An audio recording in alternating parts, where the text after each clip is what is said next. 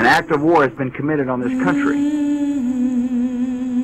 And the dedication of our guardsmen and reservists will serve not only as a strong symbol to all that we're prepared to take the necessary actions, will be a part of uh, helping define the spirit and courage of America. And I'm grateful. The advance of human freedom, the great achievement of our time and the great hope of every time, now depends on us. Our nation, this generation, will lift a dark threat of violence from our people and our future.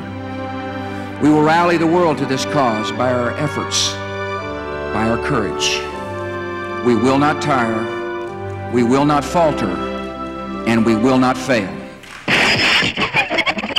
We will not tire, we will not tire, we will not tire, we will not tire, we will not falter, we will not falter, we will not falter, and we will not fail, and we will not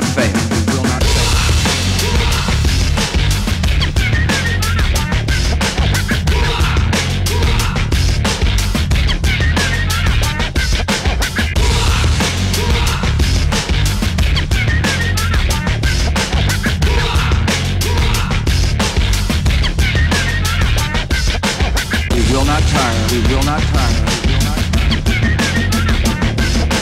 We will not falter, we will not falter, and we will not